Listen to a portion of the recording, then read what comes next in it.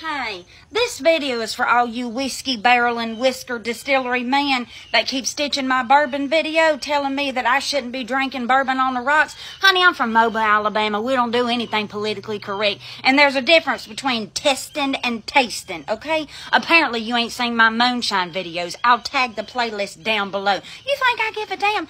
No. I would drink that bourbon right up out the bottle if I feel like it, okay? Hell, I might even stick a straw in the dadgum bottle. You want to see my shot glass?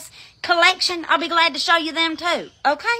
Quit stitching my damn videos. Oh, and if you want to send me some bourbon, the address is up there. You know where to find it. Okay? Are we straight now, my guys? All right now.